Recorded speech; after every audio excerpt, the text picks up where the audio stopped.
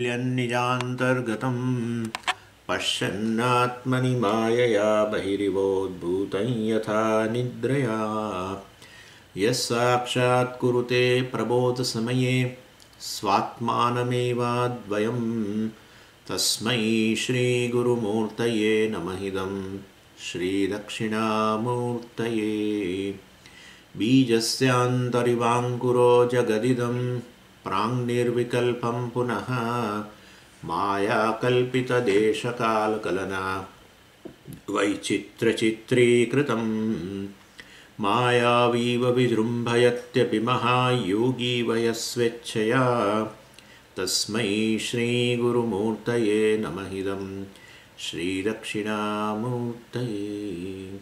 तस्मै श्रीगुरुमूर्तये नमहिदं श्रीदक्षिणामूर्तये ॐ सहना भवतु सहनौ भुनक्तु सह वीर्यं करवावहै।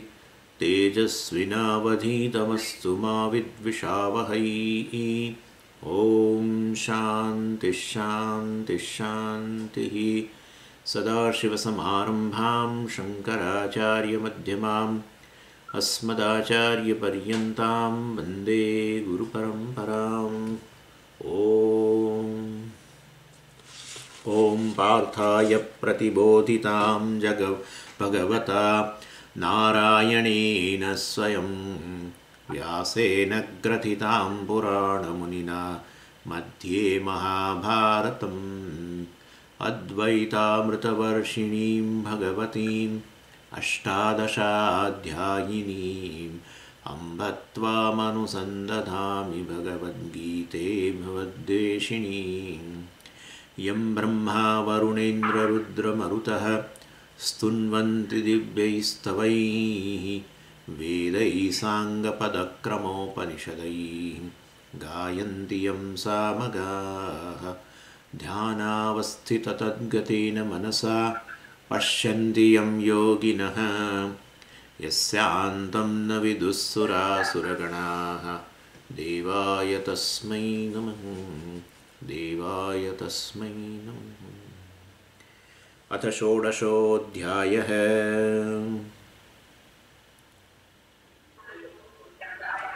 श्रीभगवानुवाच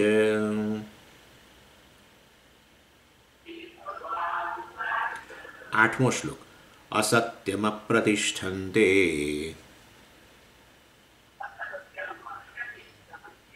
जगदाहुरनीश्वरम्।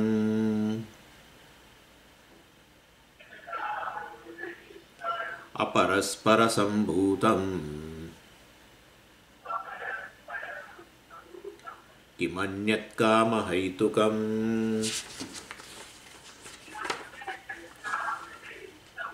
एतां दृष्टिमवष्टभ्य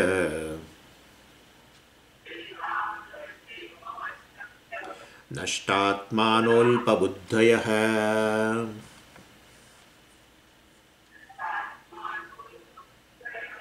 प्रभवन्त्युग्रकर्माणः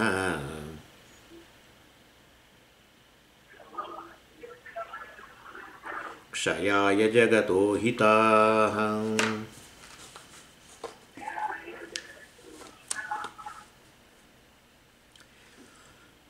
આસુરી સંપત્તિ ધરાવનારા લોકો જે છે, એનું વર્ણન થઈ રહ્યું છે.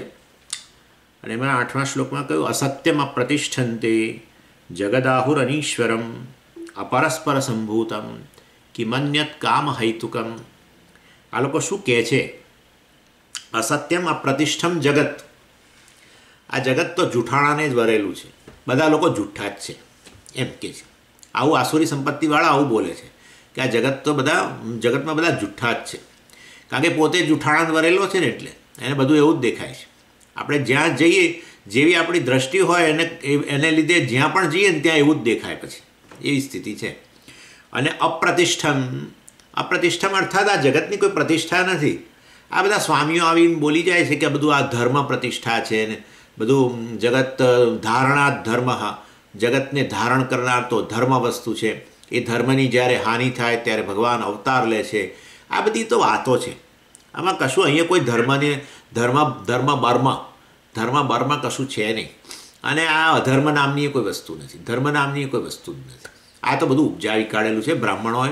અને બધા શાસ્ત્રો છે ને, આ બધા ધર્મશાસ્ત્રો બધા બ્રાહ્મણોએ લખેલા છે. જેથી કરીને સમાજનું નિયંત્રણ થાય ને પોતાનું પેટ ભરી શકાય. એટલે આ બધું કરવામાં આવેલું છે. બાકી આ જગતમાં બીજું કશું છે જ નહીં. અને અસત્યમાં પ્રતિષ્ઠમ એટલે અત્યારે જગતની કોઈ આવી પ્રતિષ્ઠા નથી, ધર્મ વગેરે. અનીશ્વરમ, અને આ જગતનો કોઈ કરતાય નથી. જગત તો બસ છે, આવું જ છે. પણ આવું સરસ સર્જન બધું થયું તે તો એવું જ છે, એનો સ્વભાવ જ છે. તો એમાં એ એ આ જળ જે એનું મેટર જે છે, એ મેટરમાંથી આ રીતે ઉત્પન્ન થાય છે જગત.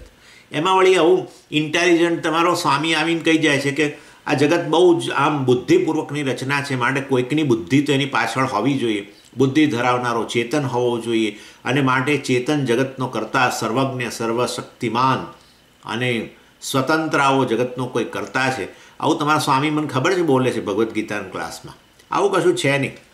આ જગત તો આવું જ છે. કોઈ બતાવો, છે આવું કોઈ ચેતન દેખાય છે? તમને ક્યાંય? કશું નથી. એટલે આ અનીશ્વરમ. આનો કોઈ, આ જગતનો કોઈ ઈશ્વર કરતા, લય કરતા, સર્જન કરતા કોઈ છે નહીં. અપરસ્પર સંભૂત પછી આ જગત આવ્યું કેવી રીતે? અપરસ્પર સંભૂતમ. આ સ્ત્રી પુરુષના સંયોગથી જ ઉત્પન્ન છે કામ હૈતુકમ. કામના જ હેતુ છે. કામના રૂપી હેતુને કારણે આ લોકો સ્ત્રી પુરુષ જોડાય, એમાંથી જગતનું સર્જન થાય. એમાં વળી આ જગતનો કરતા વચ્ચે લઈ આવવાની ક્યાં જરૂર છે? આવું આવું ઈશ્વરનું નામ લઈ લઈને તમે અમને બીવડાવો છો? એમ કે છે. અમને બીવડાવવાનો પ્રયત્ન ના કરશો, આવું કોઈ છે નહીં. કિમ અન્યત?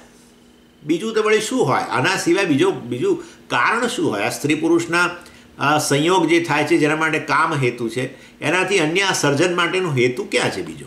કિમ અન્યત? તે આહુ આવું આસુરી સંપત્તિ ધરાવનારા. તે એટલે તેઓ. આહુ એટલે બોલે છે. આસુરી સંપત્તિ ધરાવનારા જે છે, એ આવું બોલે છે. પછી આપણે આ શ્લોક તો જોયો હતો અને પછી નવમા શ્લોકમાં કહે છે, એતામ દ્રષ્ટિ અવષ્ટભ્ય.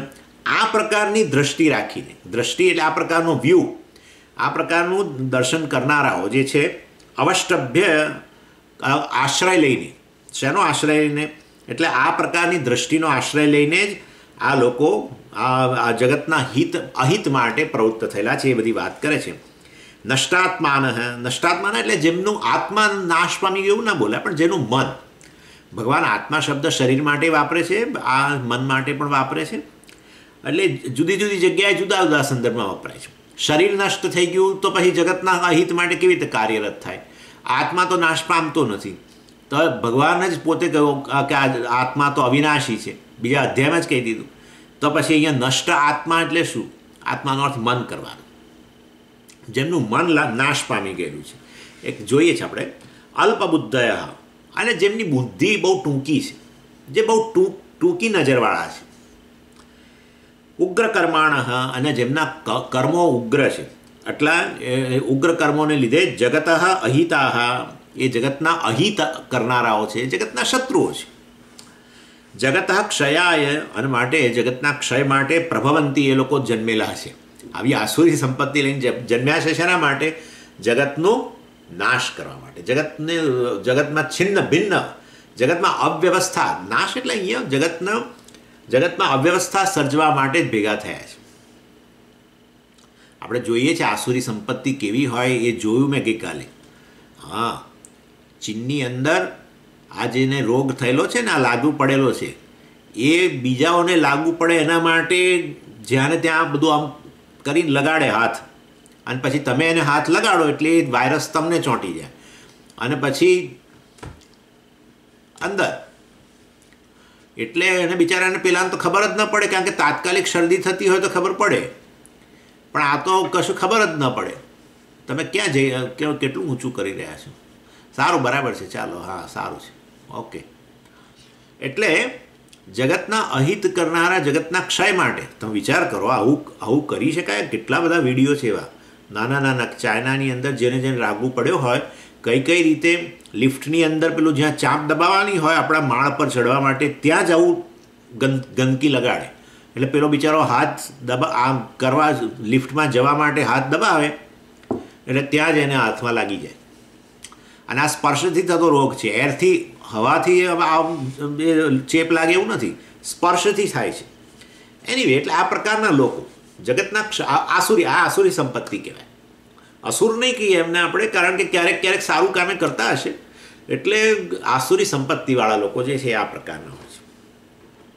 એનીવે એટલે આ શ્લોક આપણે શરૂ તો કર્યો હતો અને આવો આવી દ્રષ્ટિ એટલે મેં તમને આપણે આઠમા શ્લોકમાં જોઈ ગયા તે, કે આ જગતનો કોઈ પ્રતિષ્ઠા નથી, જગતનો કોઈ ઈશ્વર નથી.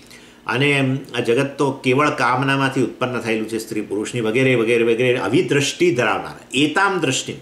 આવી દ્રષ્ટિ ધરાવનારા છે. શંકરાચાર્યજી કહે છે કે આ કોઈ અન્ય લોકની પ્રાપ્તિ માટે કોઈ કોઈ પ્રકારના કોઈ હે કોઈ સાધન ને આ લોકો માનતા નથી. આ પણ તમે આ બધું કરો છો, આ બધું બીજાઓને લગાડો છો, તો પાપની ઉત્પત્તિ થાય છે, તમારે ભવિષ્યમાં ભોગવવું પડશે. કયો બીજો, ક્યાં ભોગવવા બસ આ દેહ છે છે. આ ગયા એટલે આપણે પતી ગયું પછી. હા, નવો દેહ ધારણ કરવો ને એમાં આ જન્મમાં કરેલા પાપ કર્મોની સજા થાય, કે શું એવું કંઈ છે જ નહીં.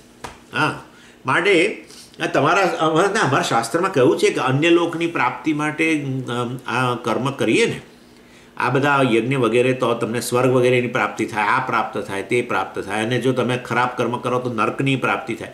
કયું નર્ક ને કયું સ્વર્ગ? અને કયા પુણ્ય ને પાપ? કશું કંઈ છે નહીં. આ દેહના મરણની સાથે બસ આત્માનું મરણ થઈ જાય છે. અરે, ચેતન તો આ દેહથી વિલક્ષણ છે. કયો કયો ચેતન? આ દેહ જ ચેતનતા છે. દેહ જ ચેતન છે. એ દેહ કેવી રીતે ચેતન બને? દેહ તો મહાભૂતોમાંથી બનેલો છે. જળ મહાભૂતો અરે તમને કંઈક ખબર જ નથી પડતી. મહાભૂતોનું મિશ્રણ અમુક રીતે થાય તો એમાંથી કંઈક જુદી વસ્તુ ઉત્પન્ન થાય. સિમેન્ટમાં પાણી રેડો તો શું થાય છે? સિમેન્ટ રહે છે? એ બીજું જ કંઈક ઉત્પન્ન થાય છે ને? અને એમનું એમ પડ્યું રહે તો પચાસ, સો વર્ષ તો એ પાછું માટીએ બની જાય. હા. હળદર અને ચૂનો ભેગા કરો તો નવી વસ્તુ બને છે કે નથી બનતી? હા, એટલે એ તો બધું બને. એટલે આ દેહથી અન્ય કોઈ ચેતનનું માનવા બાનવાનું નહીં. કોણ કહે છે? એ કે અમારા સ્વામી એક આવે છે ને એ કહે છે. અથવા અમેરિકા બે બેસીને બોલે છે આવું બધું. માનશો નહીં, તમે જવાનને ક્લાસમાં જવાનું છોડ દો ને ભાઈ. હું તમને સાચું કહું છું, આ તમારું બ્રેઇન વોશ કરે છે. આ બધા લોકો ભેગા થઈ એટલે ચા આને ચારવાક લોકો કહેવાય. ચારુ આકાયતી ઇતિ ચારવાક. ચારુ આકાયતી. કઈ ધાતુ છે? કઈ ધાતુનો અર્થ છે બોલવું. મોટે મોટેથી બોલવું. કઈ શબ્દે. એના પરથી આ વત્તા કઈમાંથી બન્યો આકાયતી અને ચારુ. ચારુ એટલે સરસ. સુંદર. એવું બોલે કે એના બધા ડિસાઇપલ બધા શિષ્યો એ તરફ જાય. વિશ્વેશ્વર મહાદેવમાં આવીને બદલે આવવાને બદલે ત્યાં જાય. હા, આ બધા આવા લોકો. આપણને બહુ ગમે એ લોકો. જો આવું કે શું કે ખબર છે તમને? એમ કે જો કે ભાઈ, ત્રિવેણી સંગમમાં તો સ્નાન કરવું જોઈએ, હા, અને એમાં માઘ મહિનામાં. મહા મહિનામાં સ્નાન કરવું જોઈએ. ત્રિવેણી સંગમની અંદર, આ મહા મહિનાની ઠંડી અલ્હાબાદની અંદર ભલ ભલાના ગાત્રો શિથિલ થઈ જાય. ના કે સવારે ચાર વાગે, પાછું સવારે ચાર વાગે. એટલે આવા એક સ્વામી આવીને આવું કે, પછી બીજા સ્વામી આવે. તો કહે છે કે, મહારાજ, આપણે આવું આગળ એક સ્વામીજી આવે, આવું કહેતા હતા કે ત્યાં મહા મહિનામાં સ્નાન કરીએ ને, ત્રિવેણી સંગમમાં. અને વહેલી સવારે તો આપણા બધા પાપોનો નાશ થઈ જાય. આવું બધું માનો નહીં. જુઓ એનો રસ્તો છે, વાત સાચી છે. પણ એનો રસ્તો છે. ત્રિવેણી સંગમમાં જે પાણી છે બકેટમાં લાવીને ઘર આ તમે જ્યાં રૂમમાં રહેતા હો ત્યાં, એમાં ગરમ કરો અને પછી સ્નાન કરો અને ભાવના કરો કે હું ત્રિવેણી સંગમમાં સ્નાન કરું છું. આપણને થાય કે આ મહારાજ સારા છે, આ પ્રેક્ટિકલ મહારાજ છે. બીજા વળી એનાથી આવી આનાથી આગળ એક સ્ટેપવાળા છે હજુ પાછા. એ કે કે ક્યાં ત્રિવેણી સંગમમાં જવાની જરૂર જ નથી. તમે છે ને સવારે શું કરવાનું? જુઓ, હું તમને બતાવું. એટલે કે તમારે સ્નાન કરતાં પહેલાં બાથરૂમની અંદર. બધી એ બકેટમાં પાણી ભરો અને બધી નદીઓનું આવાહન કરો. ગંગાયೈ નમઃ, યમુનાયೈ નમઃ, ગોદાવરીયై નમઃ, કાવેરીયై નમઃ. બસ. હા. અને પછી એવી ભાવના કરો કે આમાં બધી આ નદીઓના જળ આવી ગયા. ત્રિવેણી સંગમની જે ગંગા, યમુના, સરસ્વતી છે બધાનું જળ આમાં આવી ગયું છે. અને પછી એનાથી સ્નાન કરો. તો એટલું જ પુણ્ય મળે. જે તમારો પહેલાં સ્વામી આવીને કહી ગયા ને, પુણ્ય માટે આ કરો. તો આ કરો ને તોય તમને એટલું જ પુણ્ય મળે. આપણને થાય કે આ સૌથી પ્રેક્ટિકલ છે. આ સૌથી સારા છે. અને ચારવાકો કહેવાય. ચારું આકાયાતી, જે હંમેશા મીઠું બોલે. એવું બોલે કે તમને ગમે છે. અને પહેલાં જે સ્વામી હોય, એને તો હવે તમે દીઠા એ તમને ગમે નહીં. કે જે કે ત્રિવેણી સંગમમાં જઈને સ્નાન કરવાનું ચાર વાગે, એ તમને દીઠા ના ગમે. એમને તમને થાય કે આ આ બિલકુલ ઇમ્પ્રેક્ટિકલ છે બધી એવી વાતો કરે છે, આવીને જે કદી શક્ય જ નથી. એટલે આ પ્રકારે એવી એવી રીતે આ દેહ વગેરે ચેતન છે. બસ, એનાથી આગળ કોઈ વિલક્ષણ. દેહથી વિલક્ષણ કોઈ ચેતન જીવાત્મા હોય અને એણે કર્તા તરીકે અહીંયા આ જન્મમાં ભો બધા કર્યા હોય કર્મ. એની સજા માટે આવતા જન્મની અંદર એને અનુરૂપ દેહ પ્રાપ્ત થાય અને પ્રારબ્ધને આધારે બધું ભોગવે. આવું બધું કશું છે નહીં. હા, બસ અત્યારે આ જન્મમાં ખાવ પીવું મજા કરો. બીજું કશું નથી. કોઈ ધર્મ બર્મ કશું છે જ નહીં. એનીવે એટલે આ રીતે આચાર્ય કહે છે કે આ લોકો આવી રીતે બીજા જન્મને સ્વીકારતા જ નથી. કેમ નથી સ્વીકારતા? નષ્ટાત્માન. એમનો એમનો આત્મા, એટલે કે એમનું મન છે, એ નાશ પામી ગયું છે. અર્થાત એમનો વિવેક શક્તિ રહી નથી. મનુષ્યમાં વિવેક શક્તિ જતી રહે ને, પછી એને પશુઓ વચ્ચે બહુ અંતર, કશું અંતર જ ન રહ્યું. અને એ રીતે વાસ્તવમાં મનુષ્યનો નાશ થઈ ગયો. મનુષ્ય, એટલે શરીર વગેરે છે પરંતુ હવે એનો વ્યવહાર બધો પશુઓ જેવો હોવાને કારણે મનુષ્યપણું અંદરથી જતું રહ્યું. નાશ પામી ગયું. એમ કહેવાનો આશય છે. એટલે અને કારણે આટલે એવા અને એને કારણે એવા પ્રકારના કર્મો વિવેક વગેરે નહીં હોવાને કારણે એવા પ્રકારના કર્મો પસંદ કરે છે, જેમાં હંમેશા એ ધર્મનો જ ભોગ આપતા હોય છે, નષ્ટાત્માના. હંમેશા જે છે ને ધર્મનો ભોગ આપનારા લોકો કન્ફ્યુઝડ લોકો કહેવાય. કન્ફ્યુઝડ એટલે કેવા? મૂળ મૂળ કહીએ ને આપણે, મૂળ લોકો. હંમેશા તમને આપણને વારે વારે એવું થતું હોય ને કે આ શું કરવું શું કરવું, શું ન કરવું વગેરે બહુ જ ગૂંચવણ રહે. ગૂંચવણ કહીએ ને આપણે, ગૂંચવણ. આવું ગૂંચવણવાળા લોકો. વારે વારે ભાઈ ગૂંચવણ ઉત્પન્ન થતી હોય તો માનું કે તમોગુણ છે. બહુ જ તમોગુણ વિશેષ પ્રકારનું છે આ કાર્ય. મોહ જે છે એ તમોગુણનું કાર્ય છે. જેમાં તમને તમારી આપણે નથી કહેતા બુદ્ધિ બેર મારી ગઈ છે. સારું છે તો એ સારું સૂજે નહીં. એમ આપણે બોલીએ છીએ. સારું હોય તો એ સારું ન સૂઝે એ સારું છે એવું ન લાગે. એને બદલે જે ખરાબ છે એ સારું લાગે. આવું બધું છે. આ મોહ બહુ વિલક્ષણ વસ્તુ છે ને એ અર્જુનમાં જોવા મળ્યો છે અર્જુન જ્યારે આવ્યો, ત્યારે બહુ મોટો મોટો આમ એવી બધી ધર્મની વાતો કરનારો અને ના હું જોઈ લેવા માગું છું બધા કોણ છે ને? તેર વર્ષથી બિચારાએ સેવ્યું કે અમને બહુ અન્યાય કર્યો છે. હવે તો મહાભારતમાં આ બધાને હું જોઈ લઈશ. ધર્મનું આને આ તો ધર્મનું યુદ્ધ છે. ક્ષત્રિયનો આ ધર્મ છે કે આ અધર્મીઓનો નાશ કરવો. બધું માની લીધું. અને પછી આવ્યો જેવો મહાભારતના યુદ્ધમાં આવ્યો ને પેલા ભીષ્મ, દ્રોણ અને કાકાન, મામાન, સસરાન, ફલાણાન ઢીકણાન બધાને જોયા. માતુલાન, સસુરાન, પુત્રાન, પૌત્રાન, સખીન તથા બધા જોયા, મિત્રોને જોયા અને ત્યાં ત્યાં ગાત્રો ત્યાં ત્યાં શિથિલ થઈ ગયા. હવે એ ધર્મયુદ્ધ એને અધર્મયુદ્ધ દેખાવા માંડ્યું. બોલો. ગજબ. ભગવાનને મોટું મસ્ત લેક્ચર આપ્યું એણે. બહુ મોટું લેક્ચર આપ્યું. આ બધાને મારવા, એ તો અધર્મ છે. અને આપણે એમને પછી મારીને વિજયના ભોગ ભોગવીએ ને બધા લોહીથી ખરડાયેલા હોય આ લોકોના. આપણે કેવી રીતે એને ભોગવી શકીએ? આમ ને તેમ ને ધર્મયુદ્ધ હવે ને અધર્મયુદ્ધ દેખાય. એનું નામ મોહ. ઉલટું દેખાય, હંમેશા. સારું હોય અને ખોટું દેખાય. એટલે હદ સુધી અર્જુન બોલી ગયો કે કથનમ હિ સ્વજનમ હત્વા સુખિનસ્ય આ એતાન હત્વા આતતાઈન આ આતતાઈઓ એટલે મહાપાપીઓને મારીને, આપણે પાપ આ મહાપાપીઓને મારીને આપણને પાપ ઉત્પન્ન થશે. હવે આ મહાપાપીઓને મારવાથી પાપ ઉત્પન્ન થાય કે પુણ્ય ઉત્પન્ન થાય? આ તો જજ એવું કહે ને કોઈ જગ્યાએ કે ભાઈ હવે હું આ પેલો જે અપરાધી જે છે, જેણે આ બેંકનું દેવાળું કાઢ્યું છે, યસ બેંકનું એને સજા કરું તો મને પાપ લાગશે. તો આપણને થાય તો આ કયા પ્રકારનો છે? આ કયા પ્રકારના જજ છે કે આવા ગોટાળિયા કરનારાને સજા કરે તો પોતાને પાપ લાગશે એવું બોલે એ આને કહેવાય ફરી ગઈ, કહેવાય મતી. એક બાજુ બોલ્યો અર્જુન, આતતાઈ. એટલે મહાપાપીઓ છે. અને પાછું જોડે જોડે એ જ વાક્યમાં કહ્યું કે એવા આતતાઈઓને મારીને મને પાપ લાગશે. એટલે આ આ મતી બેર મારી ગઈ, એમ. નષ્ટાત્માના આનું નામ નષ્ટાત્મા નષ્ટાત્મા એટલે અર્થાત જેનો આ અવિવેક મુખ્યત્વે ધર્મ અધર્મના સંદર્ભમાં ગણવાનો. ધર્મ અધર્મનો વિવેક જતો રહે. સારા ખરાબનો વિવેક જ જતો રહે. સારું ખોટાનો વિવેક એમ. અલ્પબુદ્ધય, અલ્પબુદ્ધિ એટલે વાસ્તવમાં જે ટૂંકી બુદ્ધિવાળા છે. શંકરાચાર્યજી કહે છે કે એમનું મન જે છે એ આ ઇન્દ્રિયોના વિષયોથી આગળ જતું જ નથી.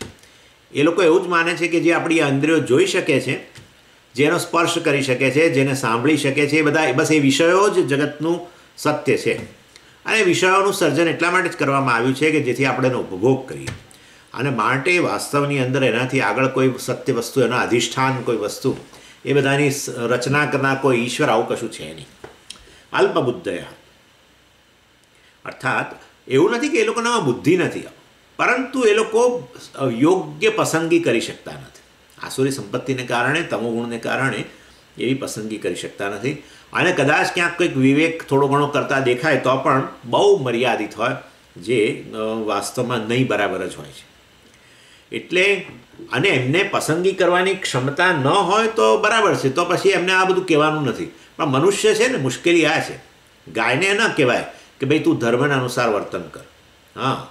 આવું ગાયને ન કહેવાય, કૂતરાને ના કહેવાય, કોઈને કરડવાનું નહીં. જો યાદ રાખ કૂતરા. એમ એવું એવું બધા કહો તમે? યાદ રાખ. અને ખાસ કરીને સ્વામી આવતા હોય, વિશ્વેશ્વરમાં અંદર આવતા હોય ત્યારે ભસવાનને તને કહી રાખું છું. એ બહુ ખરાબ વસ્તુ છે તારા માટે. આવું કદી કરવાનું નહીં. કશું નહીં. સ્વામીને કહેવામાં આવે જરા જો વિચારીને તો આવીએ.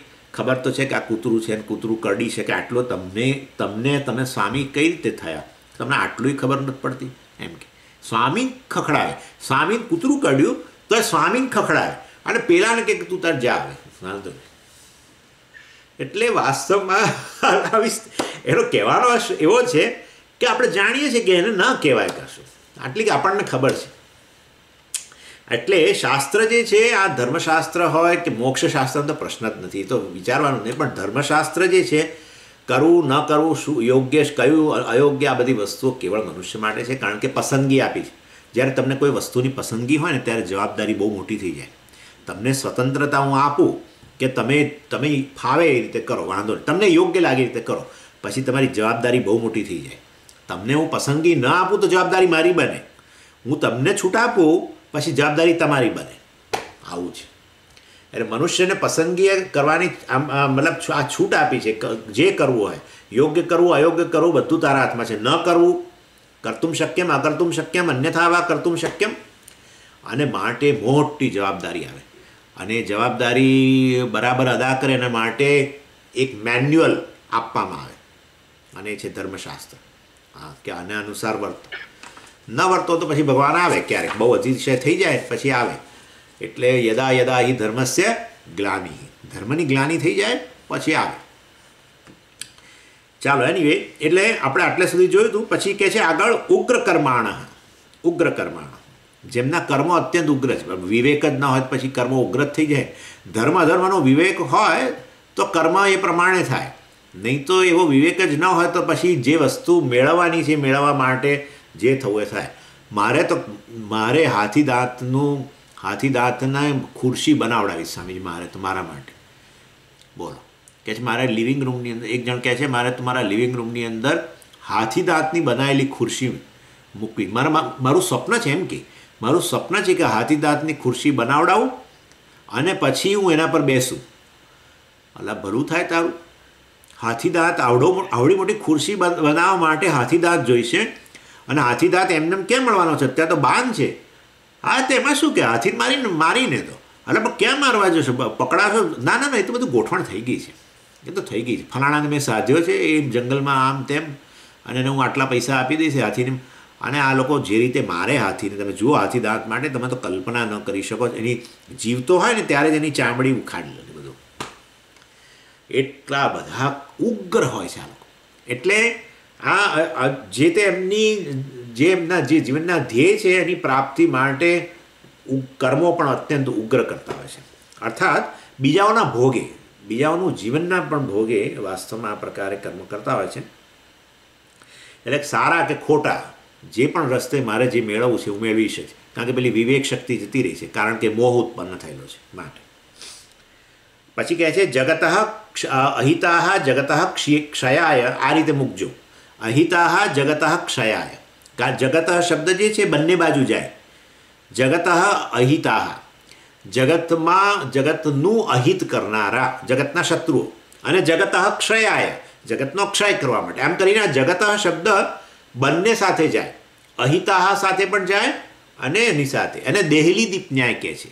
દેહલી એટલે ઉંબરો ઉંબરા પર તમે ઘરની અંદર ઉંબરો હોય ને અને ઉંબરા પર તમે દીવો મૂકો ને એવું જ કરે, એ જમાનામાં લોકો બિચારા આપણી જેમ નહીં દસ દસ લાઇટો ચાલુ કરી દે. એક દીવો, બે રૂમ વચ્ચે એક દીવો. પેલો ઉમરો હોય ને, એના પર દીવો મૂકે. એટલે એનો પ્રકાશ બંને બંને રૂમમાં પડે. એને દેહલી દીપ દીપ એટલે દીવો, દેહલી એટલે ઉમરો. જેમ એક વચ્ચેના ઉમરા પર દીવો મૂકવાથી બંને બાજુ પ્રકાશ રેલાય, એવી રીતે આ જગત શબ્દ પણ આવો છે. એને વચ્ચે મૂકવાથી બંનેની સાથે કનેક્ટ થાય. કયા બંને? ક્ષયાય. અને અહિતા બંને સાથે એનો સમાવેશ થાય. અને અહિતાહા એટલે અહિત કરનારા, એટલે શત્રુઓ. કોનું અહિત કરનારા? જગત. જગતનું અહિત કરનારા, જગતના શત્રુઓ. અને એ લોકો પ્રભવંતી, આ બધા જગતના શત્રુઓ પ્રભવંતી ઉત્પન્ન થયેલા છે. શેના માટે? ફરી પાછું પેલું. જગત ક્ષયાય. જગતના ક્ષય માટે ઉત્પન્ન થયેલા છે. એટલે એ બહુ બહુ સ્માર્ટ લોકો હોય છે. આપણું તો મતી જ કામ ના કરે. એના, એ આવું બોલે મને કે કે મારે હાથીદાંતની ખુરશી બનાવડાવી છે અને બે મહિનામાં તો એના ઘરમાં આવડો મોટો હાથીદાંત પડ્યો હોય. હા, ક્યાંથી લઈ આવ્યા આ તો અહીંયા તો કોઈ જંગલ છે નહીં આપણે ત્યાં તો, ગુજરાતમાં તો. એ દક્ષિણમાં કોઈકને સાધે, દક્ષિણમાં બહુ હાથીઓની વસ્તી છે, દક્ષિણમાં. ત્યાં કોઈકને સાધે બધું પતાવે કામ. પેલાને પૈસા આપી દે, પેલાના હાથીને મારી નાખે, બધું થઈ જાય. ફોરેસ્ટ ઓફિસરને કે ખબર ના પડે અથવા ફોરેસ્ટ ઓફિસરને પણ કોઈક રીતે લાંચ આપીને બધું બતાવીને અને પછી રસ્તામાં લાવતા ક્યાંક પકડાઈ ગયો તો મોટી જેલ થાય છે. બહુ મોટી સજા ભારત સરકારે નક્કી કરી છે.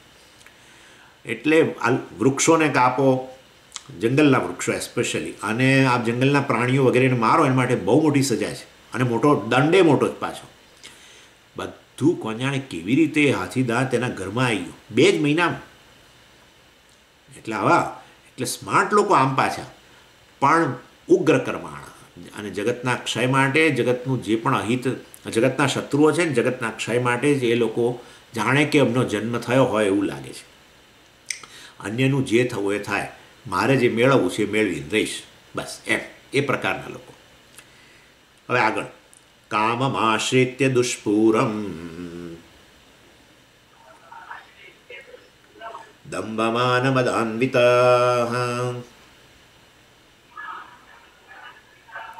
मोहात् गृहीत्वा सद्ग्राहान्। प्रवर्तन् प्रवर्तन्ते शुचिव्रताः।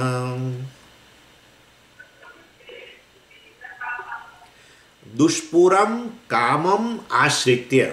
દુષ્પુરમ, જેને, જેની પૂર્તિ ન થઈ શકે, એવું, એવા કામ, એવી કામનો આશ્રય લઈને, એવી ઈચ્છાનો આશ્રય લઈને, આશ્રિત્ય એટલે એનો આશ્રય લઈને, દંભ માન મદાન્વિતા અને દંભ માન અને મદથી જે પૂરેપૂરા રંગાઈ ગયેલા છે એવા મોહાત ગૃહિત્વા.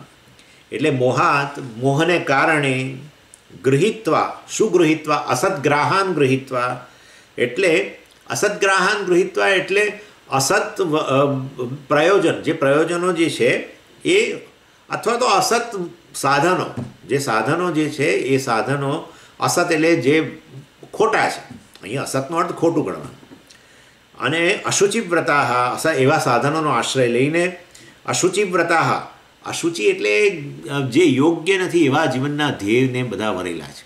આપણને થાય કે આવું તો કંઈ જીવનનું ધ્યેય હોતું હશે. એ કઈ વસ્તુને વળગેલો? સ્વામીજી આપણે તો સાંભળીએ ને કે એને શું જોઈએ છે તો આપણે તો ધ્રુજારી છૂટી જાય, એવું એવું ધ્યેય રાખીને બેઠો છે. એને અશુચિ વ્રત કહેવાય. અશુચિનું વ્રત લેનારા. અશુચિ કોઈક એવી ખરાબ વસ્તુને જીવનનું ધ્યેય બનાવીને ચાલનારા. આવા બહુ લોકો છે ભાઈ.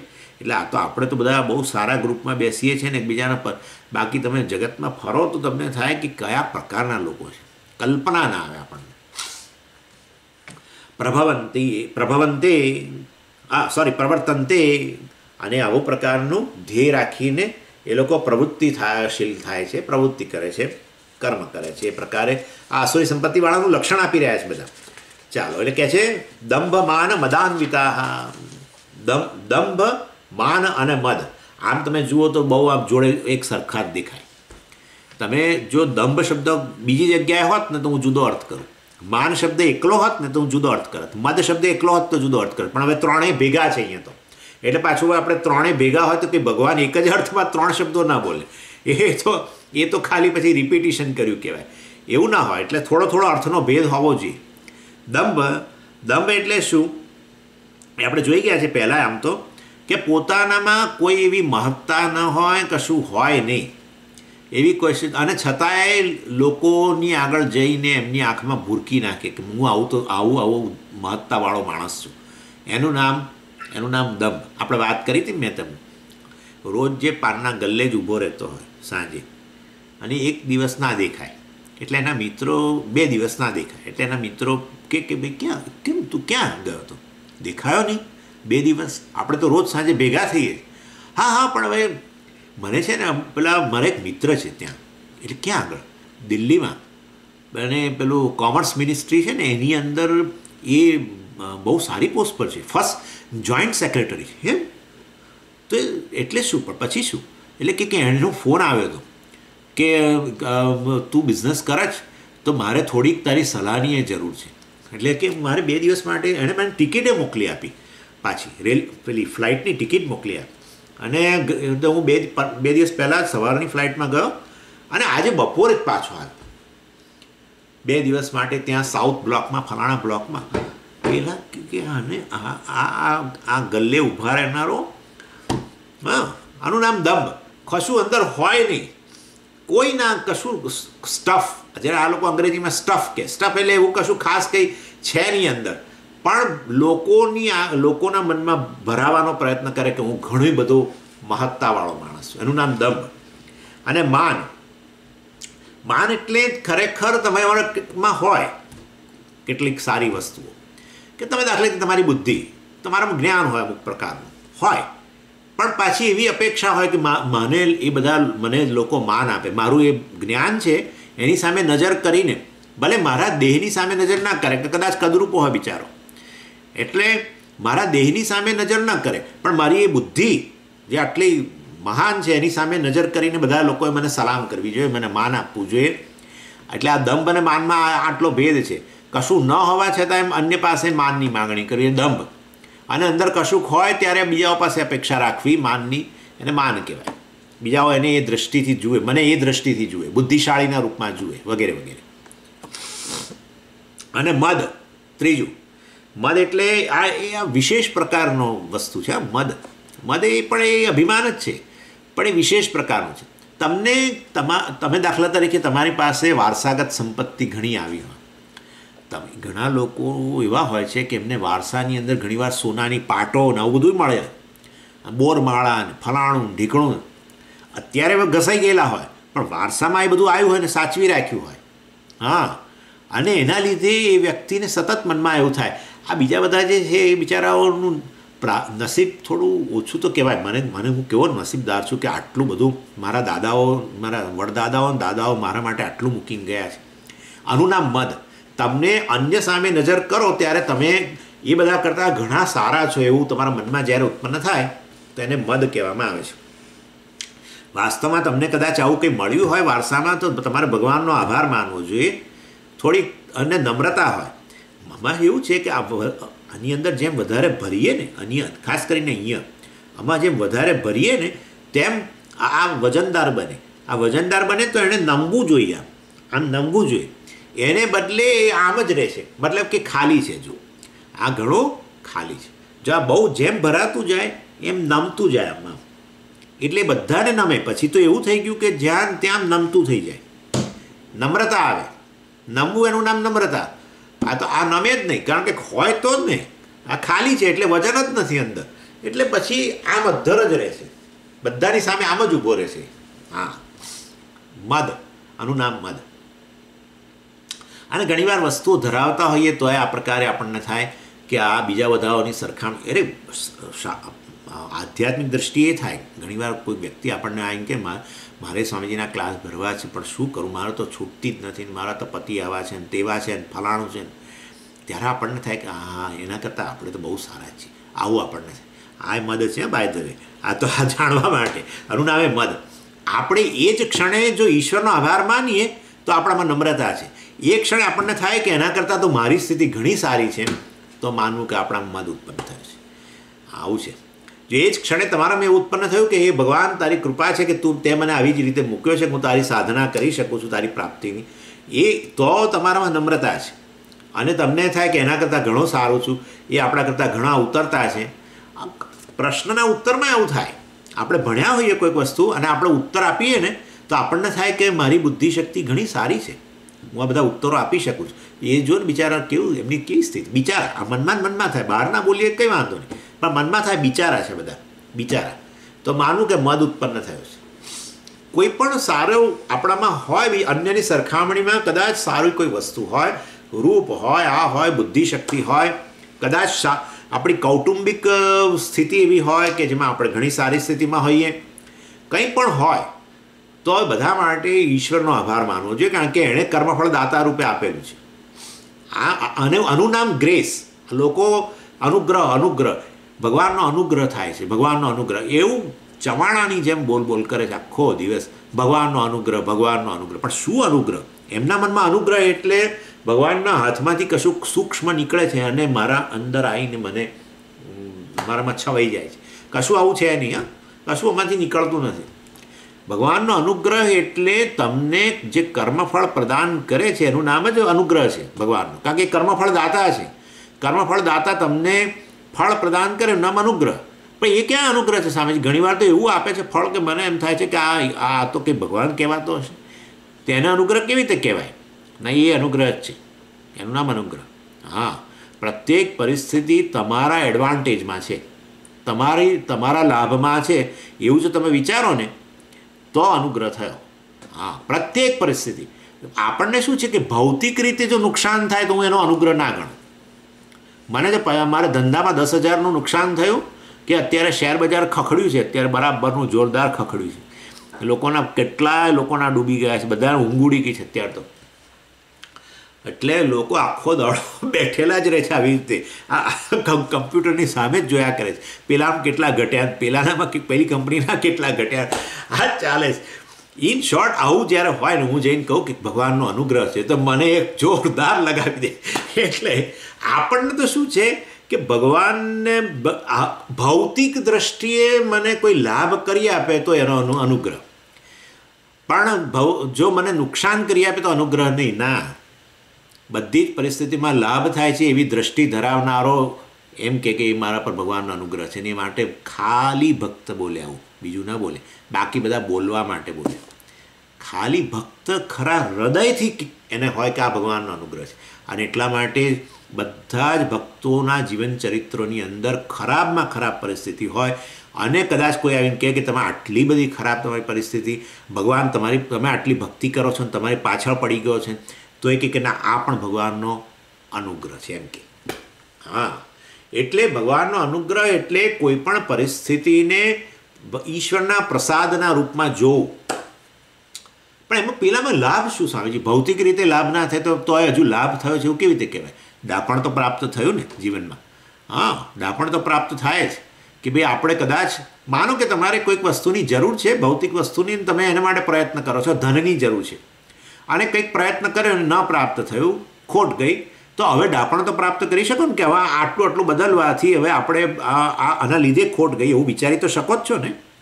અને એમાંથી ડાપણ પ્રાપ્ત કરીને તમે પ્રયત્ન બદલી શકો છો. આને બદલે આ રીતે પ્રયત્ન કરો વગેરે, એ ડાપણ અને બીજું ડાપ એ પણ ના હોય તો સફળતા અને નિષ્ફળતા બંનેની અંદર, વાસ્તવની અંદર આપણી ચિત્તની સમતા જળવાઈ રહેવી. એ મોટા મોટો અનુગ્રહ છે. સમત્વમ યોગ ઉચ્ચતે ભગવાને કહ્યું. એટલે ભૌતિક દ્રષ્ટિએ સફળ કે નિષ્ફળ? વાસ્તવમાં મહારાજ, મારું મનની અંદર નિષ્ફળતા આવી ત્યારે મનને મેં સમત્વ માટે મેં જે પ્રયત્ન કર્યો એ મોટો લાભ છે. એના લીધે ચિત્તમાં સમતા આવી, એ મોટો લાભ. અને આવું ધરાવનારા દુનિયામાં બહુ લોકો છે. જે લોકોએ બહુ એઠ્યું હોય છે ને, એ લોકો ધીરે ધીરે આ પ્રકારનું ડાપણવાળા થઈ ગયા હોય છે. એટલે આપણે કહીએ, ભાઈ, તમારા ત્યાં આટલી બધી ખરાબ આવું થયું તો તમને તો, તમારું તો રૂવાટું ફરકતું નથી. તમે તો એકદમ શાંત જણાવો છો. એ કહે છે, આવું તો ઘણું વેઠ્યું છે સ્વામીજી મેં પહેલાં. જોયું? એનો અર્થ કે જ્યારે વેઠ્યું ત્યારે એમાંથી ડાપણ પ્રાપ્ત કર્યું હતું. એટલે જીવનમાં લાભ જ લાભ છે. આટલું. કે કોઈ પણ પરિસ્થિતિ આવે, સારી કે ખરાબ એ છેવટે મારા લાભાર્થે છે, એ પ્રકારની દ્રષ્ટિને જ ઈશ્વરનો અનુગ્રહ કહેવામાં આવે છે. You look at gracefully at the situation is called grace આવું છે. તમે જીવનને માં પરિસ્થિતિઓને ગ્રેસફુલી જુઓ. ભગવાનના અનુગ્રહ રૂપે એના અનુગ્રહ રૂપે જુએ, આપણા વિકાસ માટે આપેલી પરિસ્થિતિ એટલે આપણે હંમેશા ઉદાહરણ આપીએ છીએ કે માં માં જે છે, એ એળીઓ પીવડાવે, દીકરાને અને ઘણીવારમાં ચોકલેટે આપે. બંને બંને આ પ્રકારનું હોય છે. હા, બંને વસ્તુ લાભાર્થી. ચોકલેટ આપે જેથી બાળક આનંદે પામે અને એળીઓ પીવડાવે. એ બાળકના લાભાર્થે જ છે. એટલે આવું છે આપણા જીવનમાં બંને પ્રકારની પરિસ્થિતિઓ આવે છે અને ઈશ્વર તો આપણી માં છે. અને માટે એ આપણને સારી કે ખરાબ પરિસ્થિતિ આપે, ક્યારેક એળિયા જેવી પરિસ્થિતિ આપે. એળીઓ ખબર છે ને એળીઓ કે નથી ખબર? હા, તો પાછું નહીં તો કે આ સ્વામીજી એળીઓ એટલે એળીઓ શું છે? આવું બોલ્યા પછી. એ પેલો હવે મળે કડવો એકદમ, ઝેરી હોય એકદમ. હા, એલવીજી મળતો હશે. ખબર નહીં. કાળા રંગનો હોય. અને એમાંથી થોડોક ટુકડો કાઢીને મા પીવડાવી દે આપણને પાણી સાથે. અને પછી ધીમે રહીને એક ચોકલેટ આપે જોડે. કે જેથી મોં કડવું, મોં પાછું. એટલે આ રીતે વાસ્તવની અંદર ઈશ્વરના અનુગ્રહને આ રીતે જુઓ. એનીવે ચાલો. એટલે ઈશ્વરના અનુગ્રહના રૂપમાં જોવું તો નમ્રતા આવે. બીજું કશું નહીં. જીવનમાં નમ્રતા આવે. કોઈ પણ પરિસ્થિતિ હોય, એમાં આપણને જોઈએ કે એના કરતાં આપણી પરિસ્થિતિ સારી છે, ધનની દ્રષ્ટિએ હોય, કોઈ પણ બીજી દ્રષ્ટિ હોય, કૌટુંબિક દ્રષ્ટિ હોય, કદાચ શિક્ષણની દ્રષ્ટિ હોય, કોઈ પણ રીતે હોય, તો એમાં ઈશ્વરના આભાર, ઈશ્વરને આભાર વ્યક્ત કરવો જોઈએ કે એણે આપણને આ બધું પ્રદાન કર્યું છે. એની એટલે અને આવું, આ લોકો જે છે, આવા દંભ માન વગેરેને કારણે એવા જીવનના ધ્યેય સેવે છે જે ખરેખર ન સેવવા જોઈએ. અશુચિ વ્રતાહા અશુચિ એટલે ચોખ્ખા સ્વચ્છ નહીં. સ્વચ્છ નહીં એટલે અહીંયા તો જે યોગ્ય નથી. એવા જીવનના ધ્યેય છે, એ બધા સેવે છે. પછી શું કહે છે? કામમ દુષ્પૂરમ આશ્રિત્ય. અને એ લોકો કામમ એવા પ્રકારની ઈચ્છાઓ જે છે, જેને પૂરી કરી ન શકાય, એવા એનો આશરો લઈને બેઠા છે. અત્યંત આપણને લાગે કે આ, અને એટલે કહેવાનો આશય એવો છે, એમની ઈચ્છા, એમની જે ઈચ્છાઓ છે, એમનો જે કામ છે, એની કોઈ મર્યાદા જ નથી. ગમે તે વસ્તુની ઈચ્છા રાખનાર, આસુરી સંપત્તિવાળા જે છે, ગમે તે વસ્તુની ઈચ્છા રાખનારો છે એક જણ મને કહે છે, સ્વામીજી, આ શરીર દ્વારા જેટલું પણ ખરાબ કામ થઈ શકે, તમે કલ્પના કરો, મને કહે છે. બોલો. આ શરીર દ્વારા જેટલું પણ ખરાબ કામ થઈ શકે, બધું કરીને આવેલો છું. ભગવાન, તમારો તમે તોય અહીંયા બેઠા છો આશ્રમમાં એ એ મોટો અનુગ્રહ થઈ ગયો. છે તો તો હા, ભગવાન તમને આ જગ્યાએ બેસાડે જ નહીં. પણ એનીવે એટલે એ પ્રકારનું એવી એવી ઈચ્છાઓ સેવી આપણને થાય કે આ અશુચિ છે. આવું આવું તો કોઈ દિવસ ધ્યેય રખાય જ નહીં. પણ એવા ધ્યેય રાખીને બેઠેલા કામમ દુષ્પુરમ આશ્રિત્ય. અને પછી કહે છે, અનલહ. અનલહ. ન અલમ વિદ્યતે ઇતિ અનલહ. એટલે વાસ્તવમાં આ અનલ જે છે, એ અનલ એટલે આપણે કહીએ છીએ ને, અગ્નિ.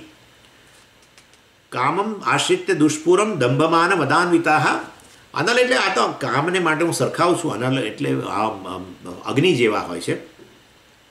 અને અગ્નિ જેમ ક્યારેય તમને અલમ ના કહે, ક્યારે ઓકે, પૂરતું થઈ ગયું એવું કદી ના કહે. પીપના પીપ, ઘી તમે હોમી દો આપેલી એ વેદીની અંદર. પીપના પીપ, તોય હજુ એ, એની જ્વાળાઓ બધી એમની એમ જ હોય. અને એની જ્વાળાઓ જે છે એને જીભ કહેવામાં આવે છે. ખબર છે તમને અગ્નિની જીભ? અગ્નિની સાત જીભો છે. મુંડકો ઉપનિષદમાં બહુ સરસ કહ્યું. કાલી કરાલી છે મનોજવા છે સુલોહિતાયા સુધુમ્રવર્ણા, સ્ફુલિંગિની વિશ્વરુચિ ચ દેવી, લેલાયમાના ઇતિ સપ્ત જિહ્વાહા. મુંડકો ઉપનિષદની અંદર કહ્યું, કાળી, કરાલી કરાલી એટલે ભયંકર. કાલી એટલે ક્યારેક એમાં કાળાશ દેખાય. અને ઉગ્ર હોય જ્વાળા તો એને આપણે કરાલી કહીએ. અને મન જેવા વેગવાળી શિખાઓ જે છે એને પછી આ મનો જેવા વગેરે, કે ચમકતો લાલ રંગવાળી હોય તો એને સુલોહિતા કે અનેક પ્રકારની હોય છે. તમે જો જુઓ ને, જેટલી વાર અગ્નિ પ્રગટે, એટલી વાર જુઓ તો એની જ્વાળાઓ જુદા જુદા પ્રકારની હોય છે. અને એ જ્વાળાઓ જે છે, એને જીભ કહેવામાં આવે છે. અને એમાં જ આહુતિ અપાતી હોય છે. આવી અગ્નિની આ સાત જીવ સાત જીભો છે. અને એની અંદર એના દ્વારા એ જે ખાઈ જાય, ઘી કે જે પણ, એ તો એને, એનું પેટ કદી ના ભરાય. આવા અગ્નિને એકવાર કંઈક પેલું એ થયો તો ખરો, હં. અપચાનો રોગ થયો તો એવું એવું એવું. આવ્યું છે ખરો કે મહાભારતમાં કોઈ જગ્યાએ કે અગ્નિ દેવતાને અપચો થયો.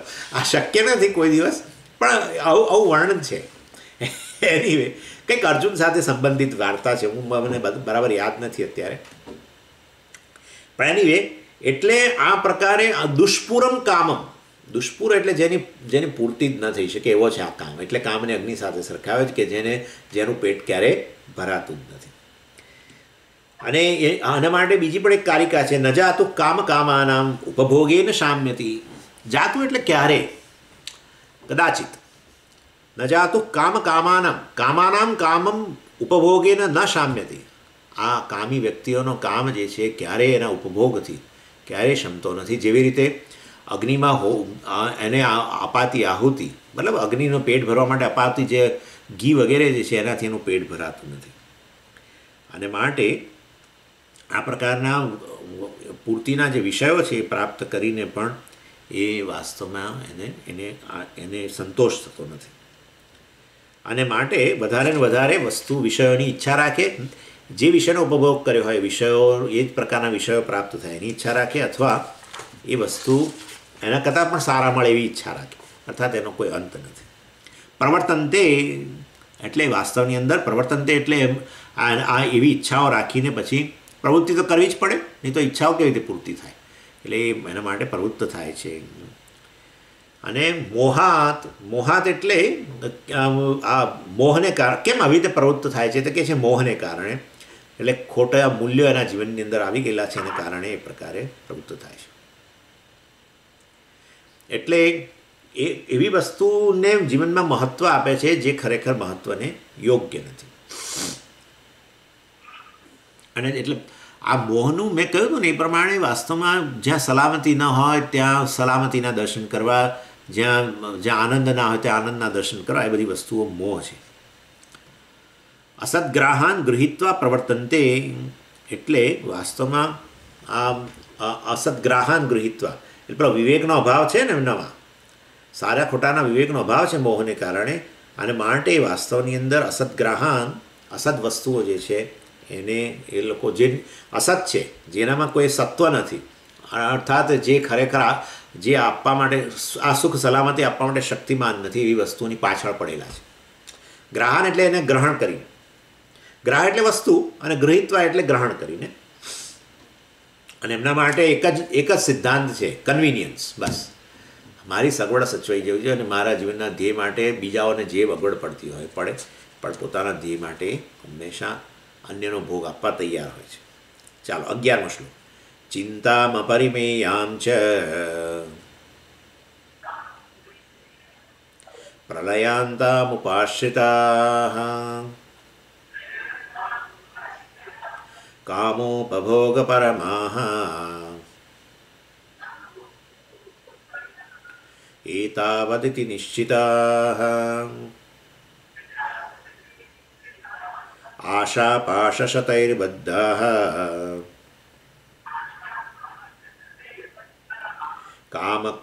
कामक्रोधपरायणाः ईहन्ते कामभोगार्थम् अन्यायेनार्थसञ्चयाम्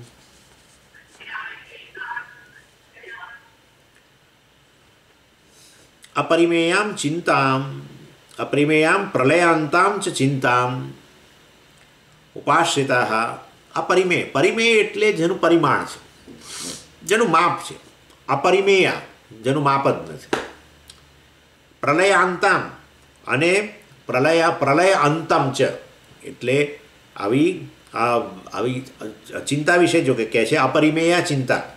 એટલે આ આ પ્રકારની જેની જેનો, જેની અંદર કોઈ માપ જ નથી, એટલી બધી ચિંતાઓનું સેવન કરનારા પ્રલય અંતા મૃત્યુ પર્યંત ઉપાશ્રિતા અને એ રીતે આવી ચિંતાનો આશ્રય લઈને મૃત્યુ પર્યંત કામ ભોગ કામ ઉપભોગ પ્રારંભ સોરી કામ ઉપભોગ પરમાહ કામ જે અને ઉપ કામના એટલે કે આ પ્રકારના વિષયો. બે છે જો કામ શબ્દ બે અર્થમાં વપરાય છે. હમણાં જ મેં કામ શબ્દ વાપર્યો એ ઈચ્છાના અર્થમાં. જે ઈષ્ટ વસ્તુની ઈચ્છા હોય ને એને કામ કહેવાય. અને ઈષ્ટ વસ્તુ જે છે એને કામ કહેવાય. વિષયને કામ કહેવાય અને વિષયની ઈચ્છાને પણ કામ જ કહેવાય. એટલે ક્યારેક કામ શબ્દનો અર્થ ઈચ્છા થાય. અને ક્યારેક કામ શબ્દનો અર્થ કામ્ય વિષય થાય. સમજી ગયા? એટલે આ રીતે કામ્ય વિષયને બદલે કામ શબ્દ વાપરે, સંદર્ભના આધારે નક્કી થાય. કામ ઉપભોગ, કામનો ઉપભોગ એટલે ઈચ્છાનો ઉપભોગ નહીં, શેનો ઉપભોગ હોય? વિષયનો ઉપભોગ હોય. એટલે અહીંયા કામ ઉપભોગ પરમાહ, એટલે જે જે પરમાહ એટલે વરેલા છે. જે વાસ્તવની અંદર ઈષ્ટ વસ્તુઓની ઈચ્છાને જ વરેલા છે. એ તાવત અને બસ આટલું જ એમ. એતાવત એટલે આટલું. ઇતિ નિશ્ચિતા. બસ આ જ છે વાસ્તવમાં. એનાથી આગળ કશું નથી. આશા પાશ શતૈર હા અને પાછું શું છે? આશાપાશ, આશારૂપી દોરડાથી શતૈ, અને કેટલા દોરડા છે? સતૈહી એટલે હજારો. હજારો જે આશારૂપી દોરડાથી બધા હા બંધાયેલા છે. કામ ક્રોધ પરાયણા.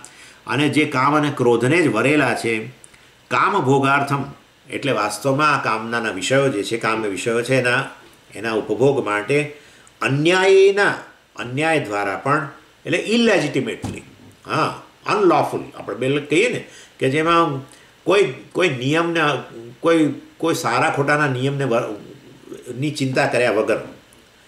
અર્થ સંચયાન, એટલે અર્થ એટલે ધન. ધન વગેરેના સંચય માટે ઈહંતે પ્રવૃત્તિશીલ થાય છે. પ્રવર્તન તે કહો ઈહંતે કહો એક જ વસ્તુ છે. આવો આનો અર્થ છે. હવે આપણે જોઈએ એમાં એટલે અહીંયા કહેવામાં આવે છે કે વાસ્તવમાં એ લોકો એવા સાધનોનો, એવા સાધનોને વરેલા છે. શેના માટે સાધનોનું અનુષ્ઠાન સાધ્ય વસ્તુઓ. કેવી સાધ્ય વસ્તુઓ? પોતે જેમાં આનંદ જોઈ રહ્યા છે એવી વસ્તુઓની પ્રાપ્તિ માટે એ એવા સાધનોનું અનુષ્ઠાન કરે છે કરે છે જે વાસ્તવમાં ન કરવું જોઈએ. મેં તમને કહ્યું ને કે હાથીદાંતની ખુરશી પર બેસવું છે. હાથીદાંતની ખુરશી કામ્ય વિષય બની ગયો. હાથીદાંતની ખુરશી પર બેસવું ત્યારે એને એનામાં એની એની ભોગ બુદ્ધિ ખીલે. એને એવું છે. એટલે એના માટે એવા રસ્તા અપનાવે જે ખરેખર ન અપનાવે. જોઈએ હાથીની હિંસા કરવાથી માંડીને બિલકુલ કાયદાની દ્રષ્ટિએ પણ એ વસ્તુ ખોટી છે, પણ એની ચિંતા નહીં. એવા. એટલે અને અપરિમેયામ ચિંતા અને બધું એ આપણે કહીએ છીએ ને, સ્વામીજી બધું અહીંનું અહીંયા જ છે. એ એ હવે કહે છે. બધું અહીંનું અહીંયા જ છે. આવી ચિંતા હોય ને ભાઈ, એટલે ચિંતાની પહેલી અસર શરીર પર ક્યાં થાય ખબર છે? ચિંતાની પહેલી અસર તમારી ભૂખ પર થાય. જે લોકો ચિંતાયુક્ત હોય છે ને એ લોકોને ભૂખ નથી લાગતી. જે લોકો પ્રફુલ્લ હોય છે, એ લોકોને ભૂખે સારી લાગે છે. એટલે આ લોકોએ દુનિયાની અંદર જે જે વસ્તુઓ એમને જણાય કે આ બધા સુખના સાધનો છે એ બધા મેળવ્યા. એના માટે જે રસ્તા અપનાવવા પડે અપનાયા. અને આ રીતે તમે જુઓ તો એમની પાસે હજારો વસ્તુઓ છે. વીસ પચીસ તો મકાનો છે. બેંગ્લોરમાં એક ફ્લેટ હોય અને અમદાવાદમાં પાછું ફાર્મ હાઉસ હોય અને મુંબઈમાં એક ફ્લેટ રાખ્યો હોય અને અમેરિકા ન્યુયોર્કની અંદર એ પાછું કંઈક હોય, ફલાણે હોય, બધે. અને એમાં કેટલાક તો પાછા મેન્શન વીસ વીસ, પચીસ પચીસ ઓરડાના હોય. હા. એટલે બટ કરવાનું શું છે તારે? તું એક ક્ષણે એક જ રૂમમાં રહેવાનો છું. પચીસ રૂમવાળા મકાનમાં તું એક જ રૂમમાં આખો દિવસ રહે. ત્યાં જ સૂએ અને ત્યાંથી નીચે ઉતરીને ત્યાં જમવા જાય, પાછો એ જ રૂમમાં આવીને સૂએ. પણ તું કરીશ શું આ બાકીના ચોવીસ રૂમો તાળું મારીને મૂકી રાખ્યા છે? શું કરીએ સ્વામીજી? આ બધીને ક્લિનિંગ માટે પાછું મારે વારે વારે આવવું પડે છે. તો તારા હાથના કર્યા હૈયે વાગે. હવે બીજું શું? એટલે બેઠા ન્યુયોર્કમાં બેઠા હોય ત્યારે બેંગ્લોરના ફ્લેટની ચિંતા હોય. બેંગ્લોરમાં બેઠો હોય ત્યારે ન્યુયોર્કની ચિંતા હોય. મુંબઈના ફ્લેટની ચિંતા હોય. કે બધાનું શું થશે? આ આટલો બધો વરસાદ થયો છે મુંબઈમાં. અને ભેજ નહીં આવતો હોય, પાણી લીક નહીં થતું, પેલું નહીં થતું હોય, અને પાછો પેલો ફોન આવે. ત્યાંથી ફ્લેટના પેલા ચેરમેનનો ફોન આવે કે ભાઈ, તમારા બાથરૂમ લીક થતી એવું લાગે છે. જો અમારા અહીંયા પેલા ફલાણા જે છે, એમના એમના બાથ બાથરૂમની અંદર પાણી પડે. તમે અહીંયા આવો, તાત્કાલિક રિપેર કરાવો. નહીં રિપેર કરાવો તો અમે તાળું તોડી રિપેર કરાવીને પછી તમારી પાસે વસૂલ કરીશું. આમ ને ત્યાં એટલે આ અપરિમેયામ ચિંતા, હજારો ચિંતાઓ લઈને ફરનારા છે.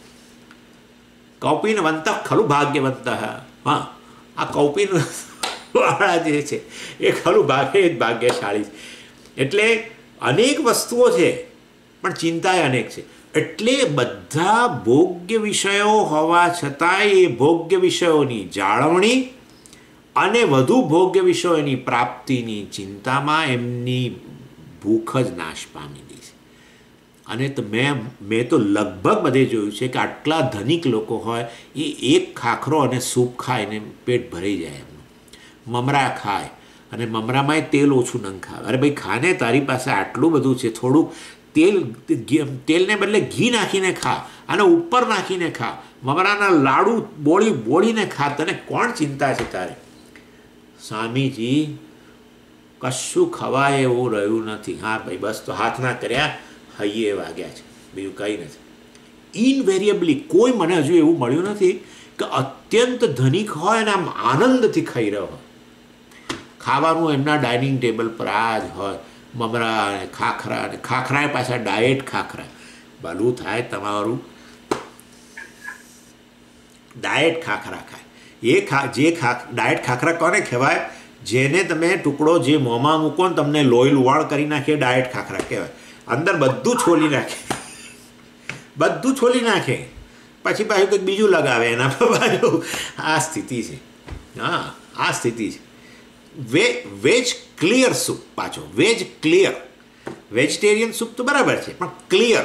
એટલે પાછું એની અંદર આ પેલું એના રેસા, શાકભાજીના કે એ બધું નહીં, ક્લિયર. બધું ફિલ્ટર કરી નાખ્યું હોય. સત્વ જ બધું કાઢી નાખે. અને પછી પેલું પીએ આરામથી આવી સ્થિતિ છે.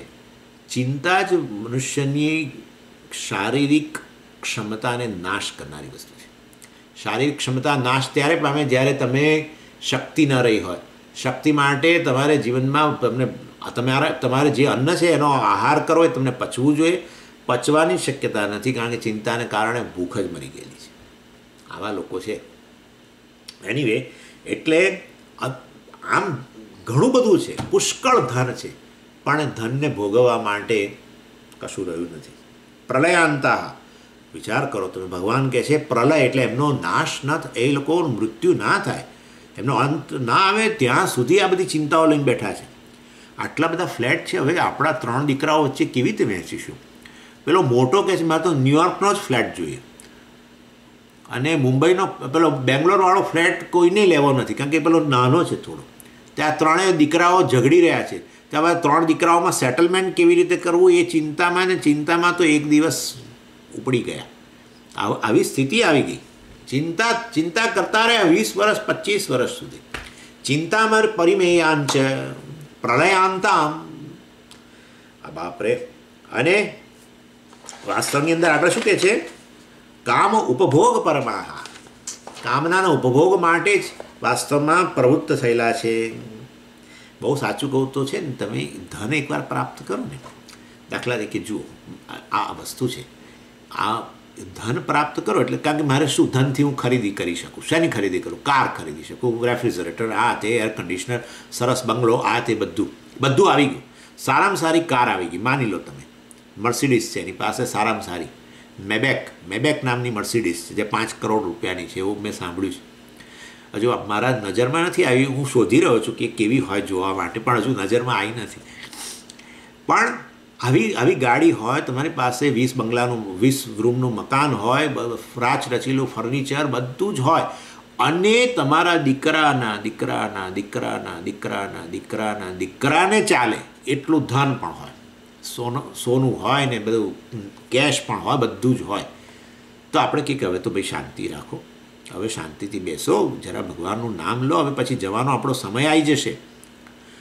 આત્મા શ્રેયસી તાવદેવ વિદુષા નકાર્ય પ્રયત્નો મહાન. આવું આપણે પાછું એને કહીએ કે ભરતુરાજી મહારાજ આવું કહે છે કે આત્માના કલ્યાણ માટે જો પણ પ્રયત્ન કશો ન કર્યો તો આ જીવન વ્યર્થ ગયું. એટલે આવું બધું કહ્યું ને કે હા, તમારી વાત સાચી છે મારે હવે કંઈક કરવું જોઈએ મને ક્યારનો આમ તો વિચાર તો આવે છે કે આ બધું આ બધું કરીએ પણ એનો કોઈ અર્થ નથી. આવું ભણવું જોઈએ, આમ કરવું જોઈએ. કશું જ નહીં. એ બીજે દિવસે સવારે પાછો ગાડી લઈને નીકળે. શાના માટે? એ ફલાણી જગ્યાએ ફેક્ટરીમાં મારે જવું પડે એવું છે. ત્યાં એ અત્યારે મેન્યુફેક્ચરિંગમાં ફલાણું અટકી પડ્યું છે અને મારે એક એક્સપોર્ટનો મોટો ઓર્ડર છે ને મારે ત્યાં તાત્કાલિક જવું. અલા, પણ હવે શેના માટે જરૂર છે? ના. એટલે આ જે પૈસા માટે હજુ એ દોડે છે, એ હવે ઉપભોગ માટે નથી. કારણ કે ઉપભોગ માટેનું તો પૂરતું પડ્યું છે, ઘરમાં અને ચારે બાજુ. આ બધું કેવળ ઈગો સેટિસ્ફેક્શન માટે છે. કારણ કે હવે મારા સરખામણીમાં મારી બાજુના બંગલાવાળો જે છે, એની પાસે ત્રણ મેબેક છે અને એની પાસે આટલા ફ્લેટ છે. એની પાસે ચાર ફેક્ટરીઓ છે. મારી પાસે એક ફેક્ટરી છે. એટલે હવે હું જરા એના કરતાં આગળ જવા માંગુ એટલે હવે જે ધન કમાઈ રહ્યો છે, એ ધનમાં કોઈ ઉપભોગ માટે નથી.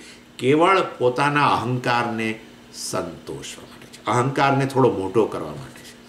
કે આ આપણે કહીએ પાછા. આપણે બધા કોઈ, આપણા લોકો ઓછા નથી. રિસેપ્શનમાં આ ભાઈ આવે ને જો તમે પહેલાં જોયા, પહેલાં ભાઈ એમની પાસે કેટલા કેટલા પૈસા છે.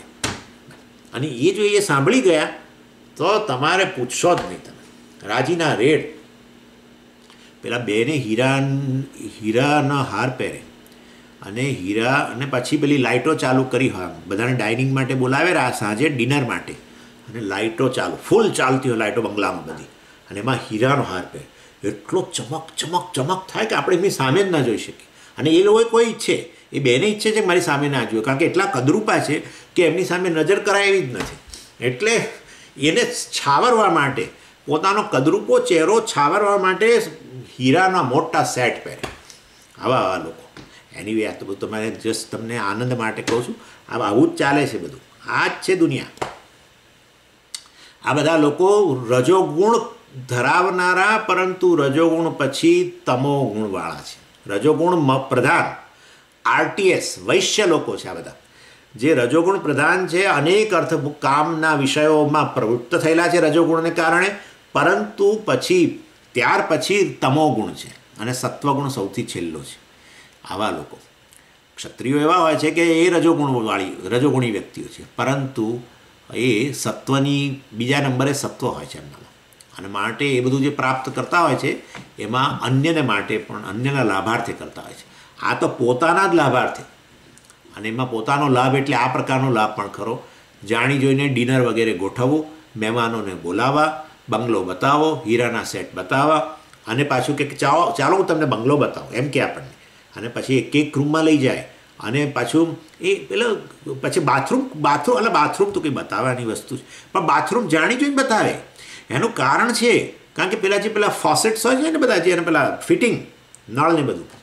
એટલે બતાવે ને પેલા પીળા રંગના હોય, એટલે આપણે કહીએ કે શું આ સોનાના છે એમ કરીને અડવા જઈએ ને. ના ના અડશું ના અડશું એ એ બધા સોનાના છે એકચ્યુઅલી એ બધા ફોસેટ્સ ગોલ્ડન ગોલ્ડન છે. આ બસ. આટલું એટલા આના માટે વિઝિટ કરાવી બાથરૂમની આપણને. કે એ આ બધું સોનાનું નંખાયું છે એ બતાવવા માટે. તમને થાય કે આવું હોય નહીં, સ્વામીજી, છે. બાથરૂમની અંદર બધા ફિટિંગ સોનાના, એ તમને યુટ્યુબમાં વીડિયો જોવા મળશે. અખાતના દેશોમાં કેટલાય લોકોને ત્યાં છે.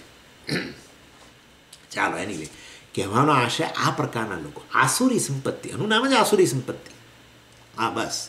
એટલે ધનની પ્રાપ્તિ ઉપભોગ માટે જ નહીં, ધનની પ્રાપ્તિ ઈગો સેટિસ્ફેક્શન માટે, અહંકારને મોટો કરવા માટે. બીજા લોકો કે કે, ભાઈ તમારા જેવા તો કોઈ ધનિક નહીં. તમારો તો શું મકાન છે?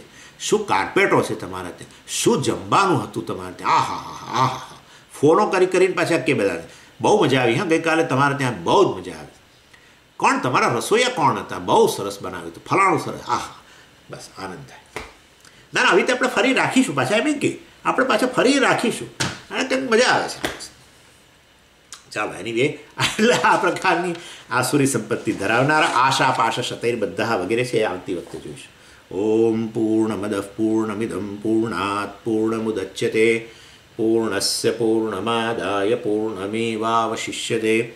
ॐ शान्तिश्शान्तिश्शान्तिः हरिः ॐ श्रीगुरुभ्यो नमः। हरिः ॐ।